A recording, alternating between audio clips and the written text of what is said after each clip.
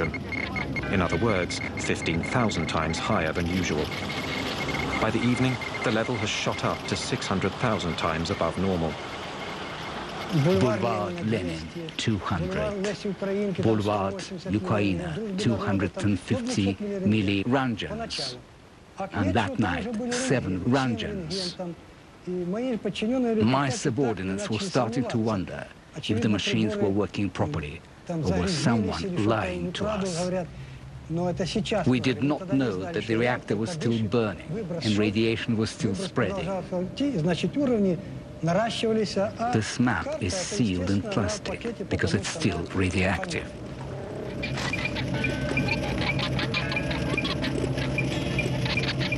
It's thought that a human being can absorb up to two roentgens per year without being affected. But the body is lethally contaminated if it receives over 400 roentgens. During that first day, the inhabitants absorb over 50 times what is considered to be a harmless dose. Such a pace, they would have received a lethal dose in four days. To understand what is going on, the colonel sends a patrol to take the first readings at the base of the plant.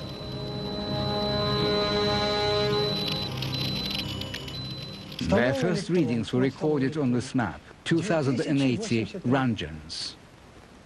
I was worried about my subordinates. How could I send them in there? At these astronomical levels, 15 minutes is all it takes for a human being to absorb a lethal dose of radiation. At the Nuclear Institute, the figures provoke a shock. Such a level of radioactivity has never been seen before. Gorbachev hurriedly creates a governmental commission made up of the country's top experts in nuclear energy. This is led by the academician Legasov, a nuclear physicist of international renown. He immediately leaves for Chernobyl at the head of a scientific delegation. We hoped they would be able to evaluate the situation quickly, but for the first couple of days, they weren't able to tell us anything. It was a dramatic situation. We'd be in session, waiting for information. We were demanding information, but they weren't able to tell us anything. 20 hours after the explosion, the level of radioactivity continues to climb. By now, windows and doors should be sealed and iodine tablets swallowed to counteract the effects of radioactivity.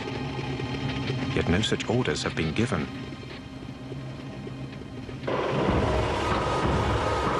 Despite rising tensions in the city, the population has still not been informed of the situation. Yulia Marchenko was only five at the time. She lived in Pripyat with her family. Her father worked at the plant. My parents took me to the daycare center, like usual. Everything was absolutely normal. My father already knew there'd been an accident, but no precautions had been taken yet. 30 hours after the explosion, the first security measures are enforced. More than 1,000 buses have arrived. At 2 p.m., the army announces the city is to be completely evacuated. И я помню, что в садике нам давали таблетки. Это йодинистый калий. I remember the teachers at the kindergarten gave us iodine pills. Я помню, что Then parents came to pick up their kids. Everyone was running around, but they weren't panicking. такая суета.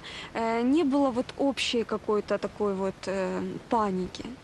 We thought we were only going to be gone for three days.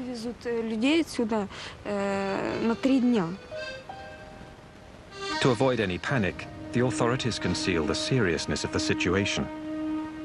Inhabitants are given two hours to gather their belongings and assemble in front of their buildings. They told us to get in the buses. I remember perfectly well having to choose which toys I was going to take. I had a lot of dolls and wanted to bring them all, but I couldn't. We couldn't even take any warm clothes. People have to leave everything they own, their entire lives behind. They will never return.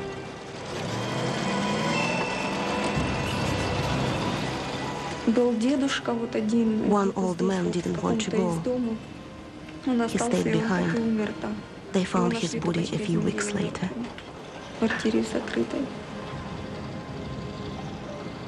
People didn't really believe what was happening. They thought they were being lied to. They remembered the German occupation and said that in 1941 there were bombs that fell. But now there was nothing. The elderly people didn't believe in an invisible enemy.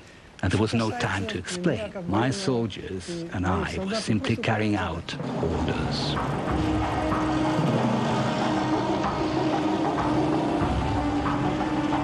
In three and a half hours, 43,000 people are evacuated tearfully but peacefully.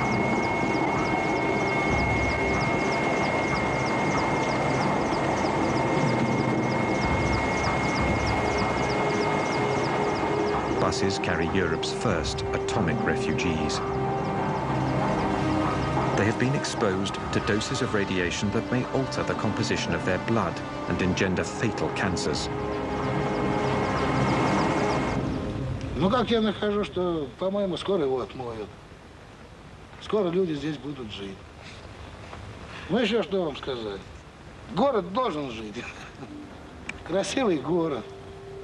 Вот я сейчас смотрю напротив стадион. Здесь должны дети играть. Ну, без риска, по-моему, нигде нельзя.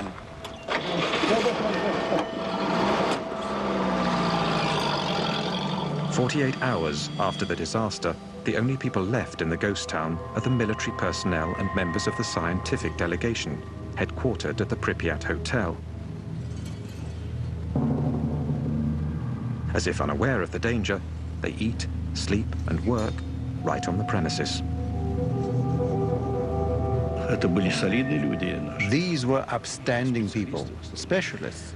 I couldn't believe they would do something irresponsible or suicidal. No, it meant they'd underestimated the situation. The old criteria were no good anymore. There have been nuclear accidents before, in our country as well as in the US, but that information had been kept secret. There had never been an accident of this scope. They even thought the reactor would be back in service by May or June. Meanwhile, clouds filled with radioactive particles are being blown north by the wind. Between the 26th and the 27th of April, they drift over 1,000 kilometers above Russia, then over Belarus and the Baltics. On the 28th, they hit Sweden, where the rise of radioactivity is detected near one of their nuclear power plants. Soon after, television news alerts the population. Radioactive dust from Chernobyl rains down on Stockholm. The authorities send a squadron of fighter planes to take readings in the clouds. The level of radioactivity suggests there's been a major accident somewhere. 60 hours after the disaster, still no official word has been reported outside of the Soviet Union. The uh, Swedish Minister of Energy phoned me on the Monday, and I was in my office in Vienna, and she told me that they had measured very much increased radioactivity near our power plant in Forsmark in the east of Sweden, and uh, they had concluded that it must have come from abroad. Did we know anything about it, was her question. And we said that no, we did not, but we are ready to contact and uh, others, and we contact the Poles. They didn't have any nuclear power plant, but um, if there was anything else that could have happened there, we contacted the Russians, of course. What has happened? An explosion? A radioactive cloud? Serious contamination? It was Sweden that alerted us. Three days after the accident, while Gorbachev is still trying to gather data, American and European spy satellites turn to the Soviet Union and discover the ruins of the Ukrainian plant. The smoke wafting from the gaping hole shows up clearly in thermal vision.